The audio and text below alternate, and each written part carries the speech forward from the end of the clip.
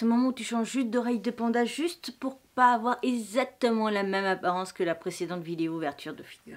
Yahoo anti-bancha, j'espère que tu vas bien, j'espère surtout que ta journée s'est bien passée. Aujourd'hui je te retrouve donc avec grand plaisir pour une ouverture de colis de figurines. Voilà, alors j'ai acheté une figurine en convention de Shibuya Kabara, puis j'ai acheté sur, via le site une autre figurine, je te mets les deux en i et en barre d'infos. Et donc là c'est ma troisième sur le site de Shibuya Kabara. Enfin, de Shibuya Kabara, vu qu'il y en a une, je l'ai acheté en convention. Pour ce qui est de cette figurine, à savoir que je l'ai achetée uniquement parce qu'elle était soldée. Sinon, elle était certes, oui, dans ma wishlist, mais elle n'était pas prévue pour tout de suite. Honnêtement, je comptais me l'acheter en septembre parce qu'elle était plus symbolique qu'autre chose. Mais finalement, je me suis dit pourquoi pas me l'acheter maintenant, elle est soldée voilà. En fait, c'était limite la seule chose qui était soldée qui m'intéressait. Donc, euh, qu'est-ce que je pourrais dire? Si, la dernière fois, le seul truc que j'avais pas pensé à dire et à dire du coup qui était dommage par rapport au site, c'était que comme avant pour euh, manga à os, il mettait rien du tout, euh, c'était un envoi sauvage, il te disait pas par exemple une petite carte de visite, merci pour ton achat ou quoi que ce soit. Je t'ai même pas montré, mais bon, j'étais ultra protégée vu que tu viens de me voir enlever des tonnes de trucs. Elle a encore pris un pet, ma boîte. Non, mais j'en ai marre. J'en ai marre. À chaque fois, elle prend des pets. Donc, comme tu as pu le voir, c'est encore une figurine Vocaloid. Cette fois-ci, c'est la marque Taito. Taito, je suppose. Voilà, c'est cette figurine-là. Et tu vas me faire le focus, putain Oh, voilà, merci. C'est cette figurine-là qui est juste magnifique. Je la trouve juste sublime. Et en fait, j'ai craqué parce que c'était une Vocaloid donc Atsune Miku, ça voilà, je pense que tu savais, mais avec une valise. Et en plus, il y a des, illustrations de feuilles d'automne. Et en fait, euh, c'est tout bête, hein, mais euh, comme étant donné que je dois partir, moi, en octobre euh, cette année, on va dire en grand voyage, même si c'est pas vraiment un voyage, hein, c'est pas des vacances en gros, c'est pour faire un visa vacances-travail dans un pays. Et en fait, bah, ça m'a fait tilt parce que j'ai vu la figurine avec le, la déco enfin, automnale. J'ai dire Halloween, mais non, automnale.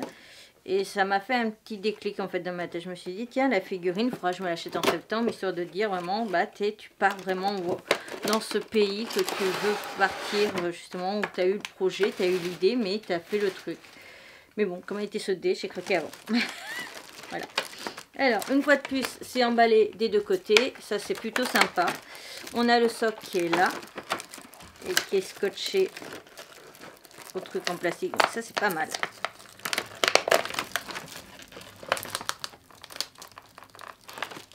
On sent le voyage en fait dans l'illustration. Je sais pas si tu verras très très bien. Si, voilà. Toi là, il y a l'appareil photo, il y a des feuilles, il y a les photos justement un truc, euh, il est marqué juste automne spécial trip. Voilà, votre trip d'automne. Et puis il y a les petits billets là, comme je disais. Voilà. Hop. Hop là. Donc c'est parti. On va lui retirer les petits scotch de sécurité.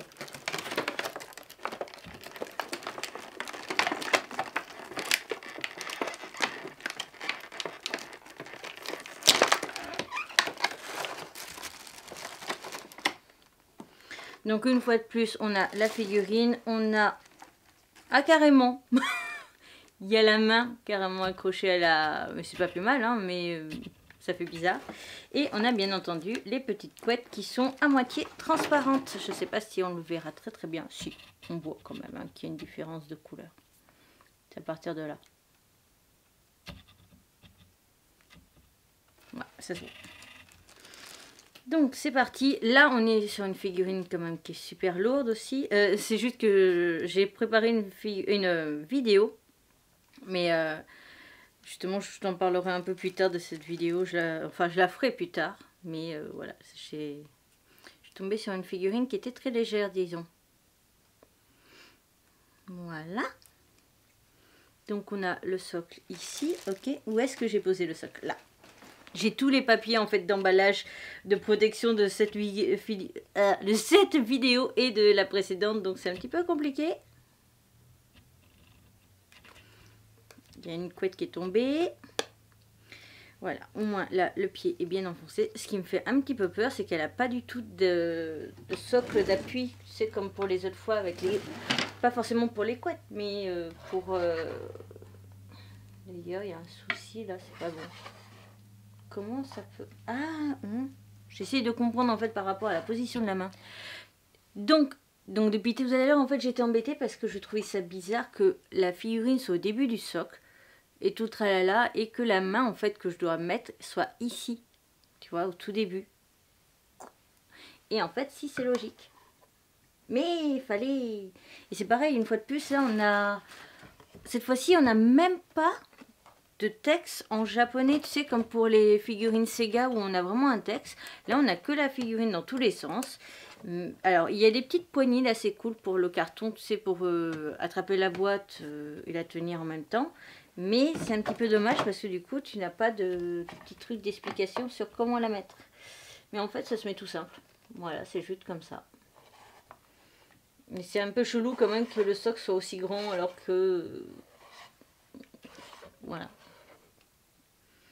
comme ça, mais oui, effectivement, quand on regarde l'illustration, c'est bien comme ça. Voilà. Et donc, il lui manque une couette à cette Miss. C'est ça qui m'embête aussi, c'est qu'elle a pas de... Euh, là, une petite finition foirée, mais c'est rien du tout. La petite culotte est une de plus blanche, pour les garçons qui voudraient savoir. Et euh, voilà. Voilà à quoi ressemble la figurine pour cette fois-ci.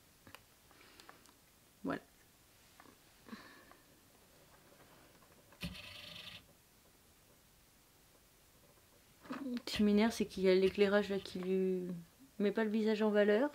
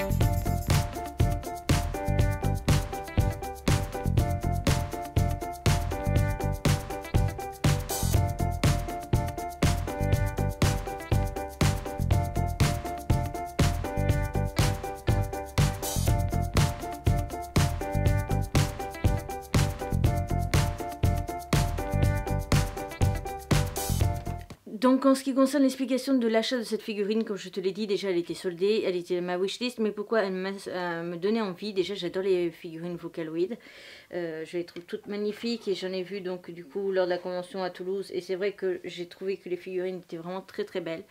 Et euh, je suis une personne qui voyage déjà beaucoup naturellement, j'ai toujours voyagé avec mes parents etc. Et là je sais que je vais partir donc du coup techniquement en octobre. Euh, alors après, au niveau du temps exact, ça, ça sera à vérifier dans quelques temps. Mais euh, je sais que je vais partir donc dans un autre pays temporairement, au moins trois mois minimum. Et donc du coup, bah, cette figurine justement, j'ai envie de lui toucher la main, je sais pas pourquoi. Cette figurine du coup représente euh, le moi qui est fan de voyage, qui va voyager qui va partir assez loin. Donc j'espère que cette vidéo ouverture t'aura plu. Si c'est le cas, n'hésite surtout pas à me le faire savoir en like, en commentant ou même partageant cette vidéo. Je te retrouve donc bientôt pour une nouvelle aventure. Je te retrouve assez prochainement, mais en février, pour une nouvelle figurine. Et sur ce, à bientôt